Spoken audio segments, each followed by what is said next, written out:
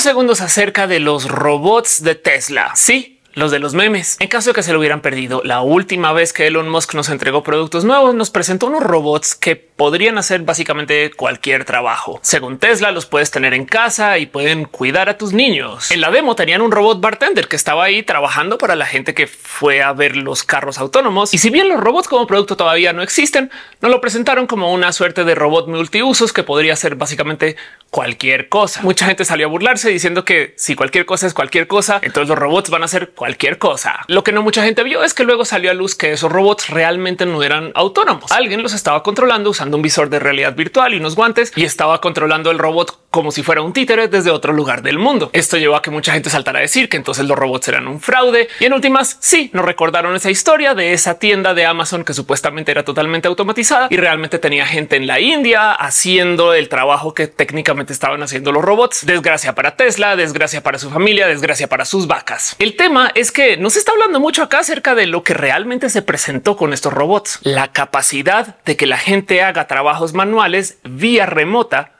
aun si esos trabajos están en otros países. Imagínense esta rara situación. Despiden a todos los cajeros de todos los Oxos en México y ponen a esos robots ahí a trabajar en las cajas. Y si bien los robots no pueden ser totalmente automatizados vía software, sí hay gente trabajando las cajas, no más que no están en México, están en otro país y están controlando esos robots vía control remoto con unos lentes de realidad virtual. Suena horrible un poco. Imagínense que reemplazan a todos los choferes de Estados Unidos con camiones que se manejan solos, pero realmente quien los está manejando está en Latinoamérica y maneja los camiones vía control remoto. Puede que esto no suene tentador porque en esencia esto quiere decir que vamos a conseguir trabajos en Estados Unidos sin tener que ir a Estados Unidos. Piensen ustedes que si alguien llegara a ocupar una tecnología así, estaría contratando a alguien con un salario latinoamericano para que trabaje en Estados Unidos sin pasar por los procesos de protección laboral, visas y regulación en general. ¿Cuántas cosas pueden hacer estos robots?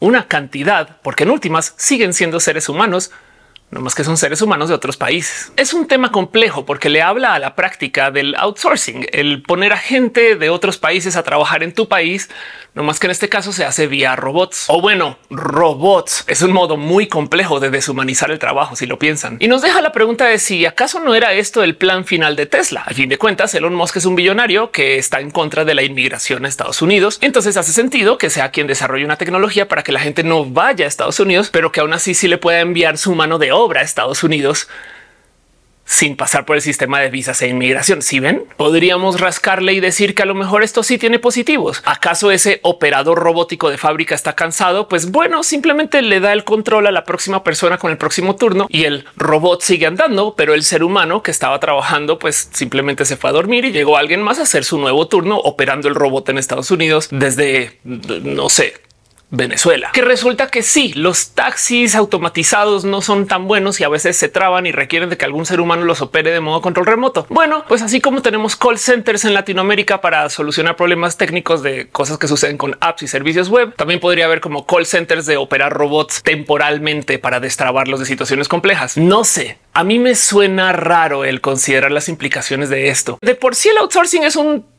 Tema peludo es la exportación laboral de mano de obra, pero del otro lado hay mucha gente que si no fuera por el outsourcing no tendría trabajo. Lo que sí es verdad es que suena raro esto del que existan robots a control remoto que se pueden controlar desde cualquier lugar del mundo y por consecuencia realmente no sabemos quién está al otro lado del robot. Hay algo ahí con la pérdida de responsabilidad, pero como sea, hay que ver en qué acaba esto, porque la automatización es un tema del cual vamos a tener que hablar bastante en los próximos años. Les dejo este pensar. ¿Acaso su trabajo es un trabajo donde ustedes tienen que seguir un proceso, una serie de pasos, un guideline, una forma, un estándar? Pues entonces en ese caso, déjenme decirles que su trabajo ya fue automatizado no más que su mano de obra es más barata que lo que valdría poner a algún robot a hacer las cosas. Con estos robots de Tesla, en esencia, puede que sí se haga su trabajo por alguien más, no más que esa persona sigue los mismos pasos desde otro país del mundo y listo. A la larga hay que ver si esto nos va a beneficiar o no. Pero quién lo hubiera pensado que Elon Musk es la persona detrás del desarrollo de los robots del teletrabajo con realidad virtual